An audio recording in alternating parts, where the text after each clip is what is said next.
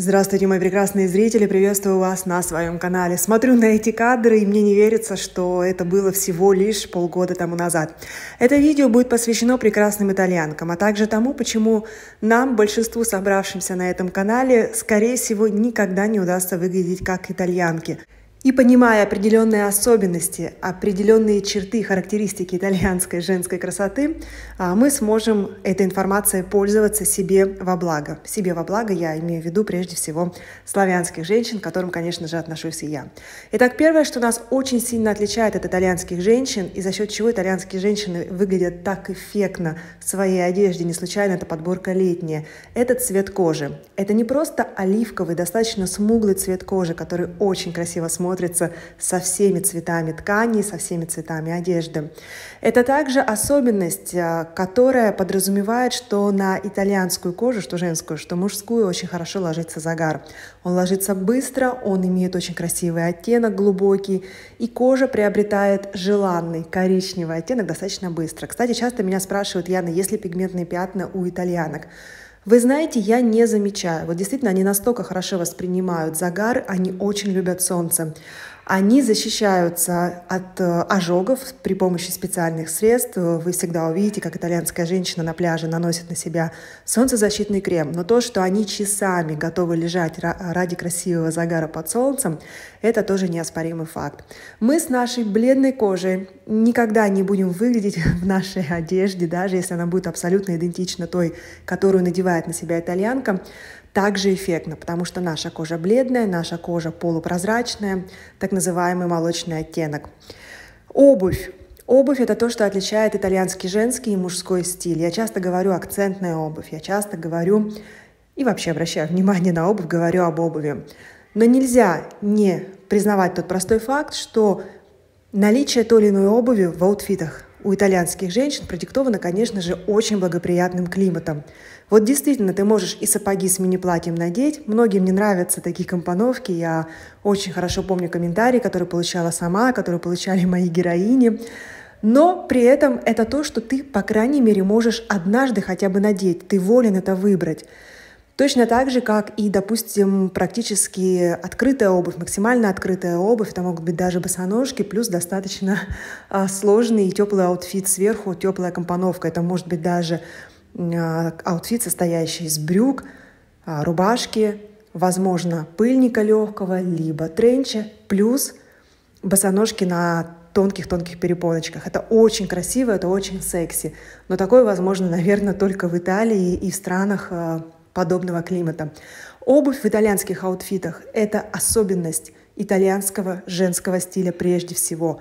Но, повторюсь, этой особенностью итальянки пользуются, возможно, даже неосознанно, просто потому что живут в очень благоприятном климате. Еще одна особенность, она отличает нас очень сильно от итальянских женщин, это волосы. Наши волосы, как у принцессы, они легкие, они пушащиеся, они не такие густые, потому что они тонкие, точнее волосы могут быть густыми, количество волос примерно одинаковое на голове произрастает, что у нас, что у итальянок, но наши волосы очень тонкие, и за счет этого кажется, что и шевелюра у нас не такая богатая. Волосы украшают любую женщину, волосы украшают итальянку. Итальянок шикарные волосы, плюс у них есть привычка все-таки в любом возрасте носить достаточно длинные волосы. А, середина лопаток – это самая распространенная длина волос, плюс в итальянском обществе нет предубеждения и нет мнения о том, что чем старше женщина, тем короче должна быть чем, тем короче должны быть волосы, и, соответственно, должна меняться ее прическа. Нет, итальянки в элегантном возрасте с удовольствием и очень красиво, нужно сказать, носят свои длинные, а также полудлинные прически. Также итальянкам доступно то, что недоступно практически ни одной из нас после 40. Итальянки очень часто скрывают седину при помощи самого обычного милирования – то есть они не красят волосы в темный цвет, они не закрашивают седину, они, они либо оставляют волосы такими, как есть. Я показывала огромное количество своих героинь с седыми волосами. Но чаще всего все-таки итальянки именно в элегантном возрасте, после 40 начиная, предпочитают именно милирование. И я, как обладательница славянских волос, тонких волос, пушащихся волос, могу сказать, что, ну да, я могу себе позволить одно милирование раз в пять лет – если я буду делать его чаще, мои волосы просто будут выглядеть очень-очень печально. Да, седину, возможно, и не будет видно, но прическа будет у меня на самом деле оставлять желать лучшего. Поэтому волосы – это то преимущество, которым природа наделила, наградила итальянских женщин. Какой выход у нас? Я часто об этом говорю, и скоро, чуть ближе к моему дню рождения, я посвящу видео, как я, о теме, как я отрастила свои волосы, расскажу, на что нужно обращать внимание. А у нас, э, наверное, единственный выход – это сохранять здоровье наших и без того тонких и очень деликатных волос. Вот тогда прическа будет выглядеть действительно хорошо.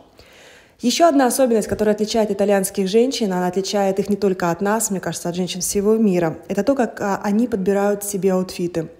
Очень часто мне пишут в комментариях, Яна, у итальянских женщин прирожденный вкус. И также часто мне пишут, такое ощущение, что все, что было под рукой, они на себя надели и пошли. И здесь я могу сказать, как человек, который сейчас совершает огромное количество примерок и работает с огромным количеством специалистов, которые меня переодевают – правы оба типа комментаторов. С одной стороны, да, у итальянских женщин в силу того, что они окружены красотой с детства, красивыми витринами, красивой архитектурой, прекрасной природой, голубым небом, у них развивается чувство прекрасного, чувство цвета, чувство формы и так далее. Но с другой стороны, итальянские женщины действительно одеваются по принципу «я наброшу это, наброшу вот это, примерю, приложу вот это, и если это отвечает моей эстетике, я в этом и пойду. То есть, по сути, они не продумывают свои аутфиты. Скоро я запишу видео, где буду брать интервью. Это один из форматов, который мне хотелось бы сделать. Интервью у своих стритстайлеров. Вот почему они оделись именно так сегодня, как они выбрали с утра эту одежду. Но я уже знаю ответ на этот вопрос. Мне просто хочется, чтобы вы услышали это непосредственно от итальянок они как будто бы надевают действительно все, что под руку попадется, до того момента, накидывая и сбрасывая эти вещи, эту одежду, пока отражение в зеркале не будет их устраивать. Вот так же, кстати, совершаются многие примерки. Да, с одной стороны, я примеряю уже готовые аутфиты, но с другой стороны, очень часто мы дорабатываем в моменте. Приложили, накинули, примерили, хорошо, все, я пошла снимать себя. Поэтому итальянских женщин отличает от нас именно другой Способ составления аутфитов. У нас он более продуманный, более рациональный, а у них он более интуитивный. Вот действительно, все, что было под рукой, набросила, себе понравилось зеркало и пошла. Ну и еще одна особенность, которая позволяет итальянским женщинам выглядеть действительно очень хорошо и красиво, это социум. И, на мой взгляд, это самое важное отличие именно итальянских женщин от нас, женщин с постсоветского пространства, как я люблю говорить. Итальянский социум, с одной стороны, действительно безразличен к тому, как выглядит человек. Но это безразличие, оно в неком позитивном ключе должно пониматься. Если твой аутфит, твоя одежда, твой способ одеваться никак не задевает мои права, мои свободы, ты можешь одеваться как хочешь, в любом возрасте. Никто не будет думать, что ты выглядишь нелепо и смешно. Прежде всего потому, что да, социум достаточно равнодушен – но социум и очень и очень толерантен. Вот здесь очень тонкая грань между толерантностью, равнодушием, свободами, признаванием свобод э, других людей на их право выглядеть так, как они хотят. И этого лишены большинство из нас. Я думаю, что многие мои зрительницы из небольших городов прекрасно поймут, о чем я говорю. Я думаю, что я сама при всей моей фэшн-свободе и смелости, вернувшись в небольшой русский город – не смогла бы одеваться так, как мне хочется. Я люблю короткие шорты считаю, что они мне идут. Получаю очень много критики также по поводу вот таких своих комплектов. Летом мне нравится носить летние сапоги и короткие шорты, короткие платья. Мне кажется, это красиво, стильно, секси, как угодно. Мне это нравится.